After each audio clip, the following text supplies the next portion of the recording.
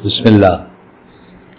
بسم الله إن الحمد لله نحمده ونستعينه ونستغفره. ونعوذ بالله من شرور أنفسنا ومن سيئات أعمالنا. من يهد الله فلا مضل له ومن يضلل فلا هادي له. وأشهد أن لا إله إلا الله وحده لا شريك له. وأشهد أن محمدا عبده ورسوله. أما بعد فإن خير الحديث كتاب الله وخير الهدي هدي محمد صلى الله عليه وسلم. وشر الأمور محدثاتها وكل محدثة بدعة وكل بدعة ضلالة وكل ضلالة في النار আসসালামু আলাইকুম রহমতুল্লাহ বারাকাত আমরা গতদিন এখানে শেষ করছিলাম সেখান থেকে আজকে পড়বো ইনশাল্লাহ গতদিন আমরা পড়তেছিলাম যে আহ, বিদাতের কারণ মানে বিদাত কেন হয় বিদাত আহ, কেন করে মানুষ বা কেন বিদাতের উৎপত্তি হয় সেটা নিয়ে আমরা সাতটা পয়েন্ট পড়ছি আজকে আট নাম্বার পয়েন্টটা পড়বো আট নম্বর পয়েন্ট অনওয়ার্ড করব। আট নম্বরটা হচ্ছে বিজাতির অনুকরণ। অর্থাৎ অন্য মানুষ, অন্য জাতি, যেটা মুসলিম ছাড়া অন্য কোনো জাতি তাদের সংস্কৃতি, তাদের ধর্মীয় আচার আচরণ, এগুলোর অনুকরণে আমরা অনেক সময় বিদাতে লিপ্ত হই। যেমন খুব ক্লাসিক এক্সাম্পল যেটা, সেটা হচ্ছে যে আপনার ঈদে মিলাদুন নবী। ঈসা আলাহ সাল্লাম কে সম্মান জানাতে গিয়ে অথবা তার তাকে ভালোবাসা, তাকে ভালোবাসার প্রকাশ ঘটাইতে গিয়ে খ্রিশ্চানরা ক্রিসমাসের উদ্ভাবন করছে। এবং ক্রিসমাসকে ঘিরে, আপনি জানেন ওয়েস্টার্ন ওয়ার্ল্ডে কী ধরনের আয়োজন হয়। যদিও ঈসা আলাহ শিক্ষা কি আর খ্রিশ্চানরা ই করে, জীবনে ধারণ করে, তা করে না। তারপরে একটা মানে সবাই করতেছে এটা কি বলব? মানে একটা সামাজিক প্রথা হয়ে গেছে সবাই করতেছে, আমাদের করতে হবে, এইভাবে তারা করে থাকে। সেটা দেখা দেখি মুসলিমরা কিছু কিছু মুসলিমরা মনে করছেন যে তারা যদি তাদের নবীকে এত শ্রদ্ধা, ভক্তি দেখাতে পারে বা তাকে তার জন্মকে কেন্দ্র করে এত আনন্দ করতে পারে, এত আলোকসজ্জ করতে পারে আমাদের নবী শ্রেষ্ঠ নবী, তাহলে কি তিনি চেয়ে বেশি ডিজার্ভ করেন না? এখান থেকে আসতে আর কি, বিজাতির অনুকরণ যেটা বললেন, সেটা এখান থেকে আপনার, আমাদের দেশে বা আরও কিছু দেশে ঈদে মিলাদুল নবী সেই উপলক্ষে সাজসজ্জা মিছিল মিষ্টি বিতরণ এই এইসব জিনিসগুলো চলে আসছে। তো এখানে একটা হাদিস আমরা সবাই জানি বুখারি মুসলিম ও হাকিমের হাদিস। এখানে আল্লাহ সাল্লাম বলেন অবশ্যই তোমরা তোমাদের পূর্ববর্তী জাতির পথ অনুসরণ করবে। আহ, বিগত বিগত এবং হাত হাত পরিমাণ। Handspan by handspan cubit by cubit সে আসছে আর কি। মানে ইংরেজিতে আমি অনেকবার বলছি এই কথাটা এই জন্য ইংরেজিতে বললাম আমার আর কি। এমনকি তারা যদি সাপের গর্তে প্রবেশ করে বা সরীসৃপের গর্তে প্রবেশ করে তবে তোমরাও তাদের সাথে তাদের অনুসরণ করবে। আহ, সাহাবা আহ, জিজ্ঞেস করছিলেন যে আল্লাহ রসুল সাহাবীরা জিজ্ঞেস করছেন যে এরা কারা? ইহুদি খ্রিস্টান? তখন আল্লাহ রসুলাম বললেন, তবে আবার কারা? অর্থাৎ ইহুদি খ্রিস্টান। ইহুদি খ্রিস্টানরা যা করবে, আমরা তাদের দেখা দেখি সেটা করব। তারা সাপের গর্তে ঢুকলে আবার তাদের পেছনে পেছনে সেই গর্তে ঢুকবো এবং তাদেরকে কপি করব। এটা আল্লাহ রসুলাম বলে গেছেন। এবং এখন আমরা দেখি অনেক কিছুতে আমরা তাদেরকে কপি করি। কাপড়ে, চোপড়ে খাবার অভ্যাসে আপনার বাসনভঙ্গিতে বা এই যে ঈদে মিলাদুল নবী পালনের কথা বললাম আমরা সেসবে বা ওয়েডিং ড্রেস দেখবেন আস্তে আস্তে মুসলিম ওয়ার্ল্ডে কিন্তু এখন ওই সাদা, ওদের মতো করে একটা সাদা ওয়েডিং ড্রেস গাউন পরার একটা রীতি চলে আসছে, কেক কাটার রীতি চলে আসছে অ্যান্ড সোন অনেক কিছু বলতে পারতাম আমরা। এটা জানেন সেটা সেসব আর যাই হোক। এরপরে আপনার নবম কারণটা হচ্ছে কাশ ও স্বপ্ন।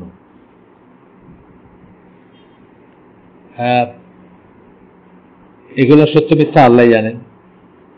তবে নিজের হাওয়া বা ডিজায়ার বা নিজে কি মনে করলেন বা নিজে কি ভাবলেন বা নিজে কি বুঝলেন, নিজের কি ধারণা হলো সেসবের উপর ডিপেন্ড করে এবং স্বপ্নে দেখলেন কিছু, সেটাকে একটা নির্দেশনা মনে করে বা সেরকমই কিছুই করে।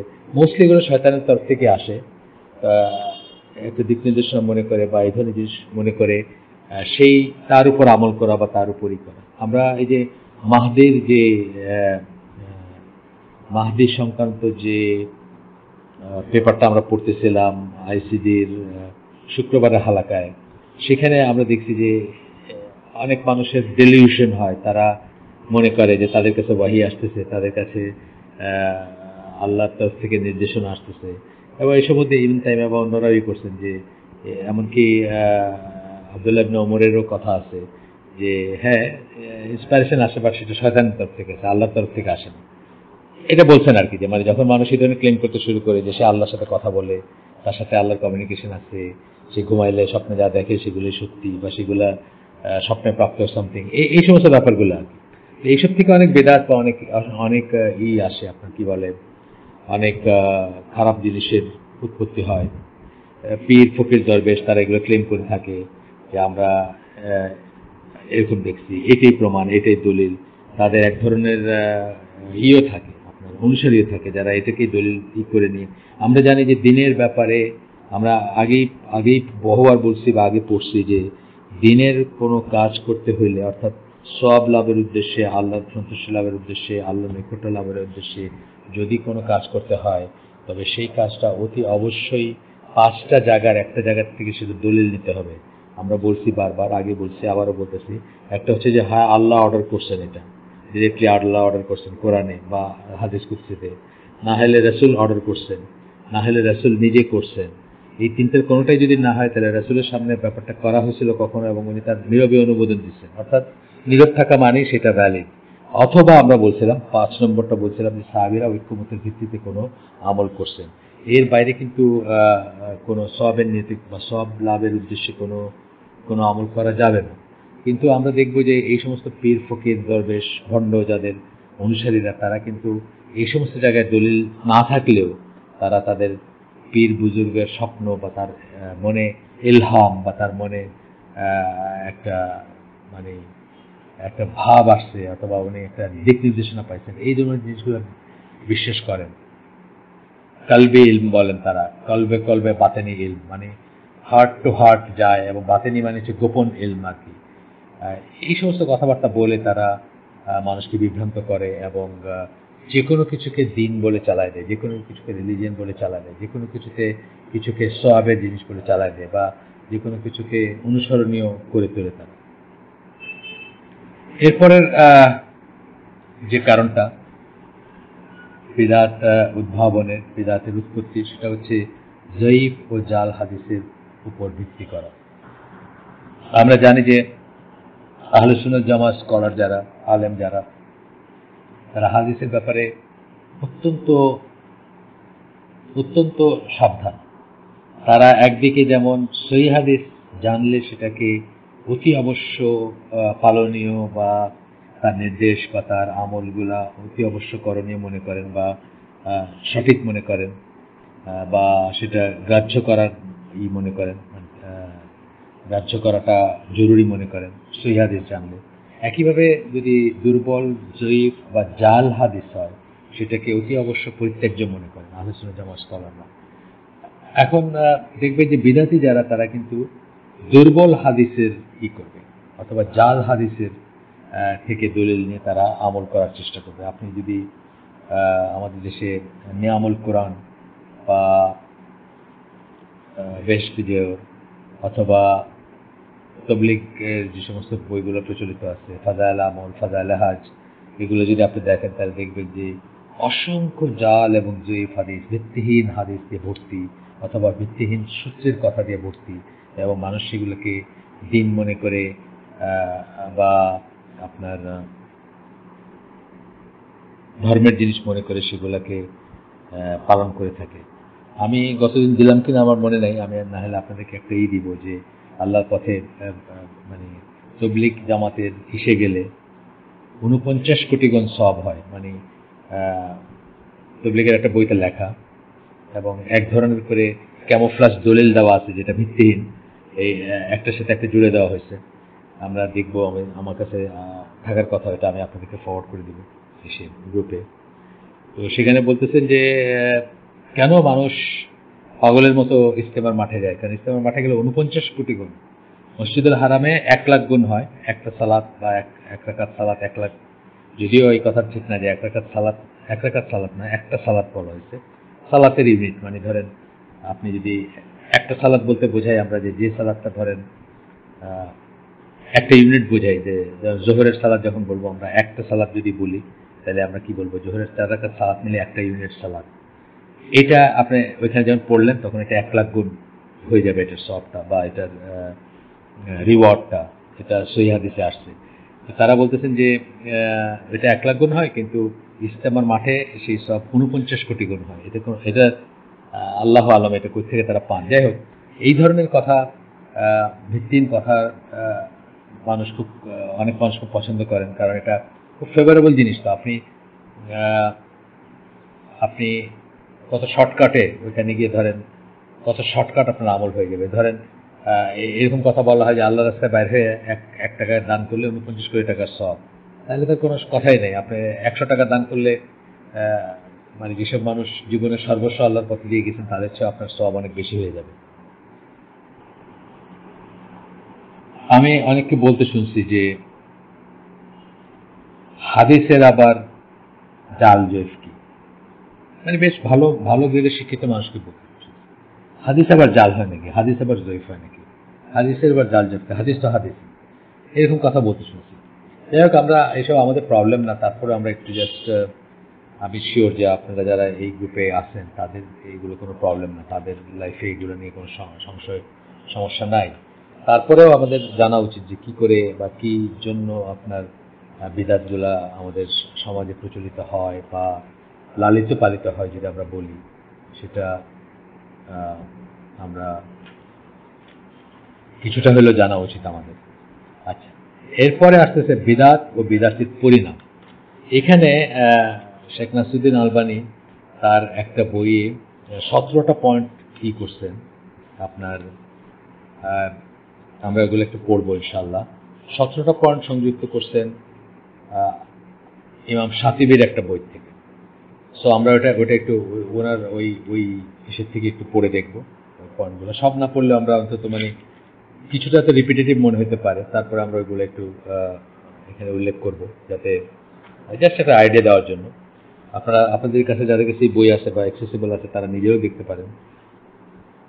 জয়ীফ ও জাল হাদিস সিরিজ এবং উম্মতের মাঝে তার খুব প্রভাব। এই নামে যে বইটা আছে ট্রান্সলেশন অবশ্য, এটা হচ্ছে শেখ নাসিরুদ্দিন আলবানির একটা বই ফেমাস সিরিজ বলতে পারেন। আর সেকেন্ড খণ্ডটা যেটা, সেখানে আপনি সেকেন্ড খণ্ডের প্রথম দিকে, শুরুর দিকে দেখবেন যে সতেরোটা ই দেওয়া আছে ব্যাড এফেক্ট দেওয়া আছে, কিসের? আপনার বেদাতে। সেগুলো আমরা একটু একটু করে পড়ার চেষ্টা করব। হয়তো সব একদম ওয়ার্ড ফর ওয়ার্ড অথবা ওয়ার্ড বাই ওয়ার্ড না পড়লেও আমরা দেখব যে সেগুলো জেনারেলভাবে আমরা একটু দেখে যাব। বেদাতের অর্থ তার কুপ্রভাব। এই কুপ্রভাবের ভিতরে আছে যে, এক নম্বরটা হচ্ছে বেদাতের কোনো আমল কবুল করা হবে না। এখানে আপনার বুখারি, কিতাবুল জিজিয়া, হাদিস নাম্বার তিন, এক, আট, শূন্য, এখানে বলতেছেন, যে ব্যক্তি রসুল হাসান বলেন, যে ব্যক্তি দিনের মধ্যে নতুন কিছু আবিষ্কার করবে বা কোনো নব আবিষ্কারিকার নব- নব আবিষ্কারকারীকে আশ্রয় দিবে। তার উপর আল্লাহ ও সকল ফেরেশতা ও মানুষের অভিশাপ। তার ফরজ ইবাদত বা তবা নফল ইবাদত বা ফিদিয়া কবুল করা হবে না। কি সাংঘাতিক কথা চিন্তা করেন। মানে ইবাদত করে যাবেন আপনি? ইবাদত করে যাবেন আপনি? সারা জীবনই হয়তো করবেন, কিন্তু আপনার ইবাদত কবুল করা হবে না বা ইবাদত কবুল হবে না। কার কার ইবাদত কবুল হবে না, আবার বলি, যে ব্যক্তি যে ব্যক্তি দিনের মধ্যে নতুন কিছু আবিষ্কার করবে। তাহলে ধরেন এই যে যারা, এই ঈদে মিলাদুন্নবী এই যে জসনে জুলুসে, এই যে লাইটিং, এই যে মিছিল করা, এই যে আলোকসজ্জা করা, এগুলো যারা আবিষ্কার করছে, বা নিজে আবিষ্কার করলেন অথবা যারা নতুন জিনিস আবিষ্কার করছে, তাদেরকে আশ্রয় দিলেন। আশ্রয় দেওয়া, অর্থাৎ, ঠিক আছে, তুমি করতেছো, করো, বা পৃষ্ঠপোষকতা করলেন, আমি একটু চাঁদা দেই। মিছিলের জন্য বা বিল্ডিং সাজানোর জন্য বা অ্যান্ড সোন আশ্রয় দিবে তার উপর আল্লাহ এবং সকল ফেরেশতা ও মানুষের অভিশাপ। আল্লাহর অভিশাপ, ফেরেশতার অভিশাপ, মানুষের অভিশাপ। মানুষ মানে যারা আদার দেন বিদাতি, যারা ইমানদার মানুষ, তাদের অভিশাপ। ডট পুরাটাই করেন পুরা টেক্সট যেটুকু দরকার সেটুকুই করছেন। তার ফরজ ইবাদত ও তবা নফল ইবাদত বা ফিদিয়া কবুল করা হবে না। ইমাম আওজাই বলেন, কোন বিশেষজ্ঞ আলেম বলেছেন, বিদাতি সালাদ সিয়াম, সাদাকা, জিহাদ, হাজ, উমরা, কোনো ফরজ ইবাদত বা তবা নফল ইবাদত ফিদিয়া গ্রহণযোগ্য হবে না। অনুরূপ কথা হিসাম ইবনু হাসানও বলেছেন। এই ইসের থেকে আসছে যে থেকে আসছে আমাদের এই কথাগুলো। যাই হোক, এরপরে আপনার বলতেছেন যে, বেদাত পরিত্যাগ না করা পর্যন্ত, দুই নাম্বার মানে আমরা ই পড়তেছি এখন, যে বেদাতের কুপ্রভাব যেগুলো, সেগুলো পড়তেছি। ইমাম সাতিবির বই থেকে।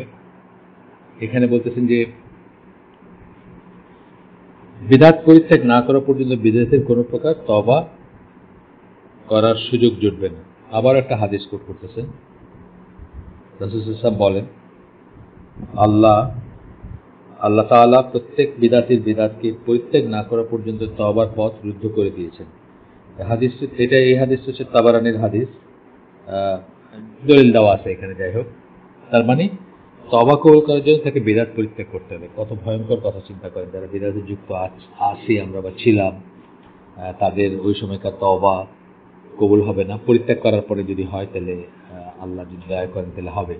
তিন নাম্বার কুপ্রভাব বা খারাপ এফেক্ট বা খারাপ অর্জন যাই বলেন।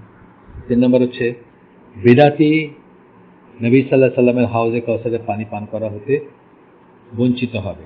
এখানে আবার একটা হাদিস কোট করতেছেন, এটা মুসলিমের হাদিস, যেখানে মুসলিম হাদিস নাম্বার চার, দুই, চার, তিন। যদি কেউ আপনার ইন্টারেস্টেড হন দেখার জন্য সেই জন্য বললাম নাম্বারটা। আমার এমনিতে এটা বলার ভিতরে কোনো বেনিফিট নেই। বরং অনেক সময় না বললেও চলতে পারে। তারপরেও আপনাদের যেন মানে শিওর থাকেন যে এটা একটা সহি সোর্স থেকে আসছে, সেই হিসেবে বলাটার হয়তো প্রয়োজনও আছে। যাই হোক, আবু হাজেম হতে বর্ণিত, তিনি বলেন, আমি সালাহকে বলতে শুনেছি, তিনি রাসুল সাল্লামকে বলতে শুনেছেন, আমি তোমাদের পূর্বেই হাউজে কাউসারের নিকট পৌঁছে যাব। হাউজে কাউসার আপনারা জানেন হাউস বলি আমরা অনেক সময় পানির যেটাতে ধারণ করা হয়। জমা রাখা হয় আমরা বাড়িতে আগে হাউস ছিল পানি ধরে রাখা হতো, সেখান থেকে আমরা ই করতাম। একই মিনিং এখানে, একটা পানির আধার, যেটার সাপ্লাই আসবে জান্নাত থেকে বাট ওখানে একটা আধার বা একটা রিজার্ভয়ার আল্লাহ হাসান বলেন, আমি তোমাদের পূর্বে হাউজে কাউসারের নিকট পৌঁছে যাব। যে ব্যক্তি সেখানে নামবে এবং তার পানি পান করবে, সে আর কখনো পিপাসিত হবে না। কেয়ামতের মাঠে যেখানে আল্লাহর আরস ছাড়া কিছু ছায়া থাকবে না মানুষ অত্যন্ত পিপাসিত বোধ করবে এবং যে একবার হাউজের পানি পান করবে, হাউজে কাউসারের পানি পান করবে, সে আর কখনো পিপাসিত বোধ করবে না। কতিপয় লোক আমার নিকট আসতে চাইবে। রাসুল হাসান বলতেছেন, আমরা কন্টিনিউ করতেছি হাদিসের বর্ণনায় বা হাদিসের ন্যারেশনে কতিপয় লোক আমার নিকট আসতে চাইবে, আমি তাদেরকে চিনি আর তারাও আমাকে চিনি। অর্থাৎ তাকে দেহে পরিচিত লাগবে। পরিচিত কিছু পরিচয় আছে না? মুস- মুসলিম দেখলে, মুমিন দেখলে পরিচিত লাগবে। অতঃপর বা নিজের উম্মার, উম্মতের মানুষ দেখে চিনবেন অতঃপর আমারও তাদের মধ্যে পর্দা পড়ে যাবে। হিজাব বলছেন, কেউ পর্দা বলছেন, এটাকে কেউ ওয়াল বলছেন, ব্যারিয়ার বলছেন যে, ক্রস করা যাবে না যেটা, সোজা কথা। বলবেন, তারা তো আবার উম্মতের অন্তর্ভুক্ত। অর্থাৎ কেন তাদেরকে আসতে দেওয়া হচ্ছে না, এরকম ব্যাপার। তাকে বলা হবে, আপনি জানেন না আপনার পরে তারা কি আমল করেছে। তখন যে ব্যক্তি আমার পরে দিনকে পরিবর্তন করেছে, তাকে আমি বলব, দূর হয়ে যা, দূর হয়ে যা। মানে রিয়েলাইজ করবেন যে কেন এদেরকে আসতে দেওয়া হচ্ছে না, তারা তার মৃত্যুর পরে তার দিনকে পরিবর্তন করছেন, অর্থাৎ যোগ বিয়োগ গুণ ভাগ করছে বিদাচার কি যেটাকে আমরা বললাম এতক্ষণ ধরে যেটা আলোচনা করলাম। তখন উনি কি বলবেন? দূর হয়ে যা, দূর হয়ে যা। তাহলে বিদাতি যারা, তারা হাউজে কসরে পানি পান করা থেকে বঞ্চিত হবে। কেয়ামতের দিন। চার নম্বর। মানে এই অনেক সময় দেখবেন একটু মনে হবে যে রিপিটেশন কারণ এটার একটা দিক আগে বলছেন, আরেকটা দিক বলেন নাই। এটার এটা আমল কবুল করা হবে না বলে এই হাদিসটা কোট করছেন। এখন আরেকভাবে হাদিসটা কোট করতেছেন, সেটা হচ্ছে যে বিরাতি অভিশপ্ত। আমরা যদি কারও, আমরা আল্লাহর অভিশাপ, ফেরেশতাদের অভিশাপ, মানুষের অভিশাপ, এর কিছুই আমরা চাই না আসলে। বিকজ অভিশাপ অত্যন্ত খারাপ একটা জিনিস। আল্লাহর অভিশাপ একটাই না তারপরে ফেরেশতাদের অভিশাপ, মানুষের অভিশাপ। এখানে বলতেছেন যে চার নম্বর পয়েন্টটা হচ্ছে মানে বেদাতের কুপ্রভাব বা অমঙ্গল বা অনিষ্ট, সেটা সেটা বলতে গিয়ে বলতেছে যে বেদাতি অভিশপ্ত। কারণ রসুল ইসলাম বলেছেন, হাদিসটা আগেরটাই বাট একটা অংশ শুধু কোট করছেন, যে ব্যক্তি দিনের মধ্যে নতুন কিছু আবিষ্কার করবে বা কোনো নব আবিষ্কারকারীকে আশ্রয় দেবে, তার উপর আল্লাহ এবং সকল ফেরেশতা ও মানুষের অভিশাপ। হাদিস একই হাদিস, বুখারির কিতাবুল জিজিয়া থেকে তিন এক আট শূন্য নম্বর হাদিস। পাঁচ নম্বর পাঁচ নম্বর খারাপ জিনিস। বেদাতের নিকট যাওয়া এবং তাকে সম্মান করা, ইসলামকে ধ্বংস করার সামিল, অত্যন্ত ইম্পর্টেন্ট জিনিস। আমরা অনেক সময় সামাজিকতা রক্ষা করতে, দেখতে কেমন লাগে, বা ধরেন আমাদের নিকটাত্মীয় মারা গেছে, তার চার দিনের ই হচ্ছে কুলখানি হচ্ছে। তো এখন সবাই যাবে। আপনার যত আত্মীয় আছে সবাই যাবে। দেখতে কেমন লাগে? আপনি আপনি সেই জন্য গেলেন আর কি। ইভেন তো আপনি ডিপ ইনসাইড জানেন যে এটা ঠিক না বা এটা বেদাত বা এটা গুনার কাজ, তারপরে আপনি গেলেন, সামাজিকতা হিসেবে এই ধরনের কেসগুলো আসবে আর কি এই পয়েন্টের ভিতরে। পূর্ব, পূর্বে উল্লেখিত হাদিসটি এর দলিল হিসাবে উল্লেখ করা যেতে পারে। যদিও আল্লামা সাতেবি রহমতুল্লাহ একটি দুর্বল হাদিস দ্বারা দলিল দিয়েছেন। কারণ বিদাতকে আশ্রয় দিলেই তাকে সম্মান করা হয় আর যখন এ কারণে ইবাদতগুলো কবুল করা হয় না, তখন আশ্রয়দানকারী তার ইসলামকে ধ্বংস করে দিল, তাতে কোনো সন্দেহ নেই হ্যাঁ। এরপরে আটা হাদিস যে ব্যক্তি ইসলামের, যে ব্যক্তি ইসলামের মধ্যে কোনো প্রকার বিরাট চালু করল, চালু করলে, করল সে তার চেয়ে উত্তম সুন্নাকে পরিত্যাগ করে। আচ্ছা বিদাত চালু করা মানে একটা উত্তম সুন্না পরিত্যাগ করা হয়। আচ্ছা এর আর আরও কিছু ই দিচ্ছেন এখানে, আপনার এমনি আব্বা, আব্বাসের থেকে একটা বর্ণনা আসছে, এটা হচ্ছে আলিফ ইসলামের ই করছেন মানে খ্রিস্টান নাম্বার দিয়ে ই করে আসছে। ইবনে আব্বাস বলেন, এটা আসার অ্যাকচুয়ালি হাদিস না। প্রত্যেক বছরই লোকেরা একটি করে বিদাত চালু করবে আর একটি করে সুন্নতকে মেরে ফেলবে। শেষ পর্যন্ত বিদাত জীবিত হবে আর সুন্নত মারা যাবে। এই সেন্সে বলতেছেন ধ্বংস হওয়াটা। বেদাতের নিকট যাওয়া এবং তাকে সম্মান করা ইসলামকে ধ্বংস করার সামিল। এটা এই জন্য বলতেছেন যে বেদাতে, বেদাতকে এস্টাবলিশ করা এন্ডোর্স করা বা যখনই আপনি ই করলেন, তখন একটা সুন্না, এটা আমরা আগেও বলছি যে মানে এক গ্লাস পানির সাথে আমরা বলছিলাম, মনে এসে কেটে যায় না এক গ্লাস ভরা এক গ্লাস পানি আছে। আপনি ওখানে একটা পাথর যদি ঢুকায় দেন, তাহলে পানি উপচে পড়ে যাবে। একইভাবে যে কোনো বেদাত যখন এন্ডোর্স করা হয়, স্বীকার করা হয় বা তাকে টলারেট করা হয়, তখনই কিন্তু দেখবেন যে তা কি করতেছে? একটা সঠিক সুন্নাকে আপনার রিপ্লেস করতেছে। আমরা অনেক উদাহরণ দিচ্ছি এই ধরনের যেমন ধরেন হাত মেলানোর ব্যাপারটাই ধরেন। সুন্না অনুযায়ী হাত মেলানো আমরা আপনাকে বলছি আগে, আপনাদেরকে বলছি আগে যে হচ্ছে আপনার ডান হাত দিয়ে যার সাথে হাত মেলাচ্ছেন তার ডান হাত মুসাফা করা যেটাকে বলে, করতলের সাথে করতল মেলানো। হাতের তালু যেটাকে আমরা বলি, আপনার হাতের তালুর সাথে যার হাত সাথে হাত মেলাচ্ছেন, তার হাতের তালু স্পর্শ করবে। এটাকে মুসাফা বলে। কিন্তু আমাদের দেশে দেখবেন যে মুসাফা করতে গিয়ে দুই হাত দিয়ে ধরে, তারপর সেটাকে আবার বুকে ধরে, বুকে লাগায়, তারপরে চুমা দিয়ে আবার কপালে লাগানো হয়।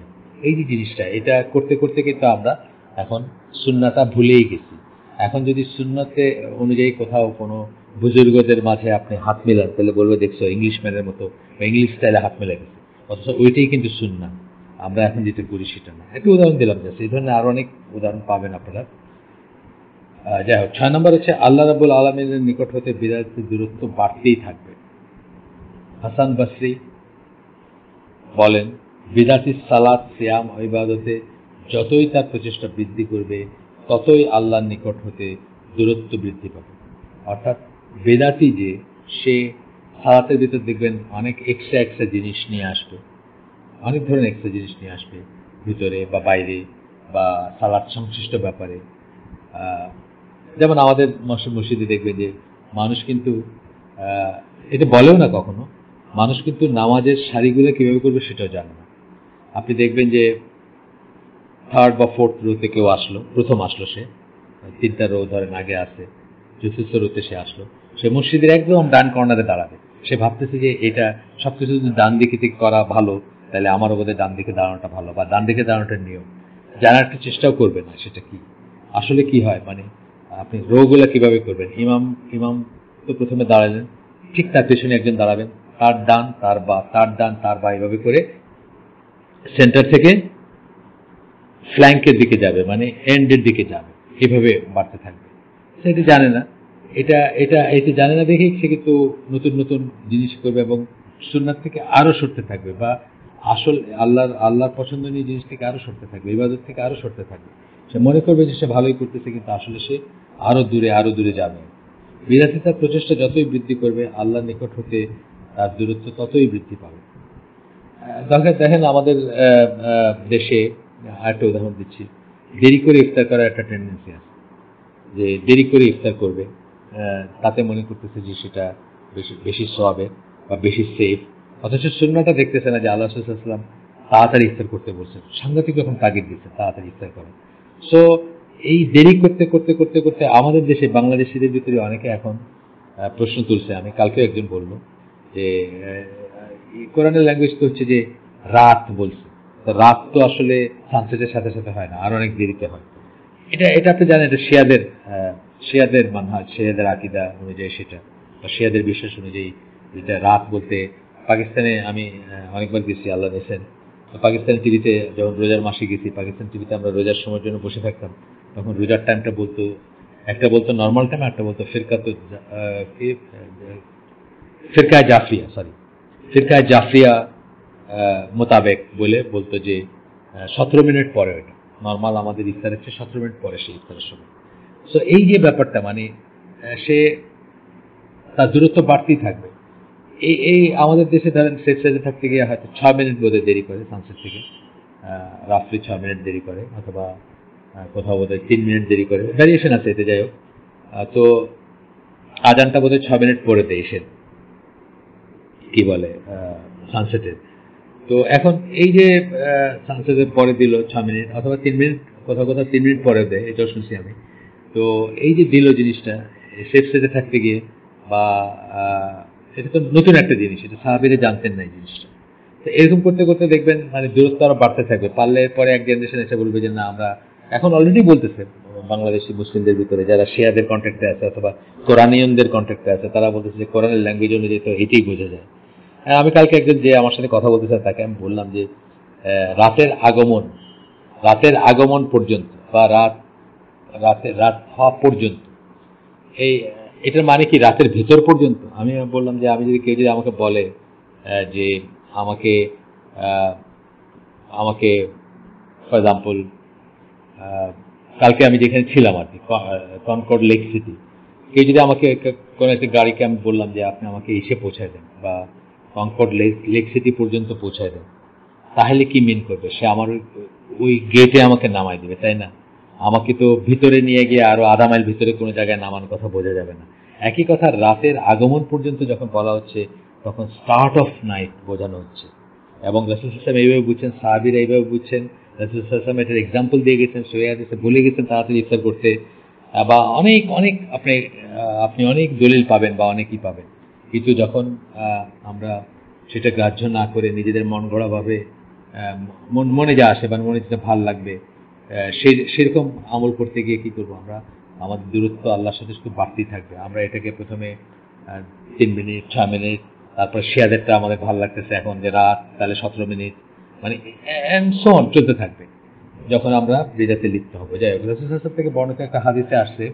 তিনি বলেন তারা দিনের মধ্যে এমনভাবে দিনের মধ্যে হতে এমনভাবে বেরিয়ে যাবে যেভাবে তীর ধনুক হতে বেরিয়ে যায়। বুখারি মুসলিমের হাদিস এটা একটা হাদিস যেমন, এই বেরিয়ে যাওয়া তাদের বিরাতের কারণেই।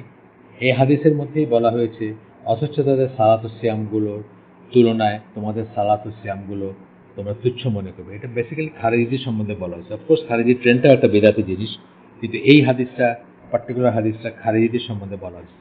যে তাদের সালাত, তাদের সিয়াম দেখলে আমাদের মনে হবে যে আমাদের সালাত হচ্ছে কত সিনসিয়ার কত সিরিয়াস তারা।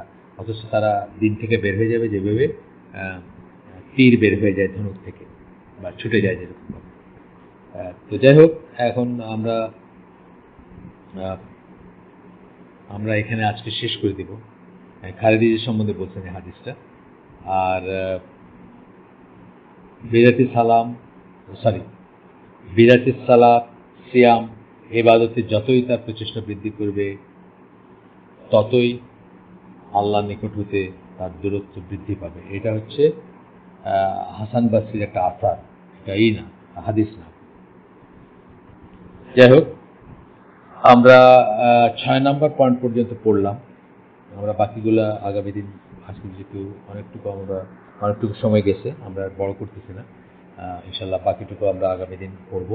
সুবহানাক আল্লাহুম্মা বিহামদিকা, আশহাদু আল্লা ইলাহা ইল্লা আনতা আস্তাগফিরুকা ওয়া আতুবু আমরা যে শুনলাম তার ভিতরে ভালো কিছু শুনে থাকলে সমস্ত প্রশংসা আল্লাহ এবং খারাপ কিছু শুনে শুনে থাকলে সমস্ত ব্যর্থতা আমার এবং সেটা শয়তানের তরফ থেকে আল্লাহ আমাদেরকে ভালো যা শুনলাম তার উপর আমল করার তফিক দিন। আসসালামু আলাইকুম রহমতুল্লাহি ওবরাকাত